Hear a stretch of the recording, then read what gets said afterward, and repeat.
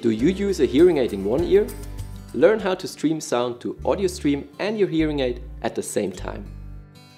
Phones with Android 12 and later let you stream sound to AudioStream and an ASHA compatible hearing aid at the same time for bimodal streaming. You can find a list of tried and tested devices at go.medel.com forward slash AudioStream. Before pairing your phone with AudioStream and your hearing aid, you'll need to configure it using the AudioKey 2 app. Find in-depth instructions in AudioStream Hands-On, pairing with an Android device, or your user manual.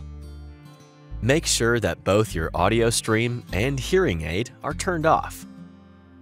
Enable Bluetooth on your smartphone and switch on AudioStream.